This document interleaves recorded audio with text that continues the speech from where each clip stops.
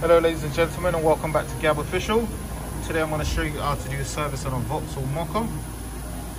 As you can see, the oil filter is located just down there. It's a 24 mil socket to remove it, as you can see. It's one of those paper cartridges filter inside of it. For the sump underneath, you will need a Torx. It's a 45 Torx, as you can see, to remove the sump plug. And now after finishing the service, you need to reset the service light. These are on the newest shape Mokkas. This is how you reset the service light.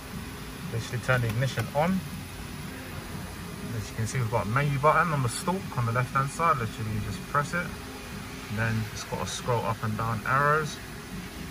We're just going to go to service functions. As you can see, it says oil life life is 56%. We're just going to press enter. As you can see, there's like a little button on the edge. We're literally going to hold on to that. As you can see, are you sure that you want to reset? Then we'll just scroll up. As you can see with this little arrow, you can scroll up or down. Press yes. And that's it. Thank you, thank you for watching Gab Official. Please like and subscribe for more content. If there's any comments, please leave them below.